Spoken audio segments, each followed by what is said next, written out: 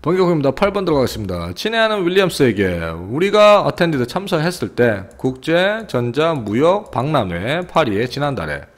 자 우리는 방문했다. 너의 booth를. booth란 말은 뭐 이런 거죠. 뭐 세워놓는데 그래서 물건 팔고 이렇게 사람들이 해갖고 전람회 가면은 이거 booth라고 불러요. 자 그리고 CJL 지적 visited 1번 봤어. 매우 흥미로운 자 demonstration 증명을.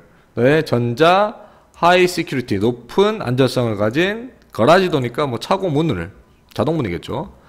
자, function 그 기능인데 to drive straight in and out of your garage from the comfort of a car as well as your emphasis on the protective protection까지 아 들게 기네요. 자, 기능은 was very impressive예요 그냥. 다시 볼게요.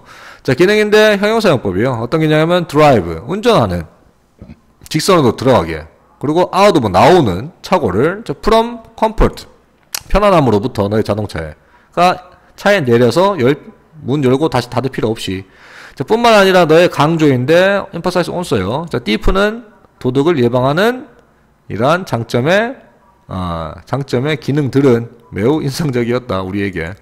자, 우리는 맨, 믿는데 there will be 거기에 있을 것이라고 증가하는 시장이 있을 것이라고 이러한 이와 이것이 한국에서. 자, 우리의 회사는 잘 알려져 있는데 안전과 도둑 예방 산업에서 세콤 이런 거죠.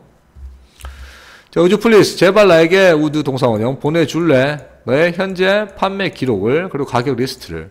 자, 물론 우리는 will be glad. 그럼 기뻐지게 될 것이다. 왜? to provide 제공해서.